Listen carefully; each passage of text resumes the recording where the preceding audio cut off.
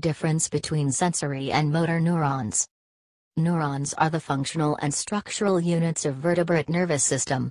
They make the communication network of the nervous system and transfer impulses between sensory organs, and central and peripheral nervous systems.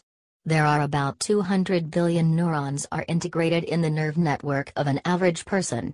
Neuron is made up of a cell body containing a nucleus and other cell organelles.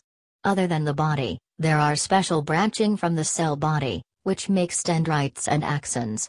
Usually axon is a long fiber, which carries messages away from the neuron, and dendrites are small branching responsible for receiving messages from the outer environment.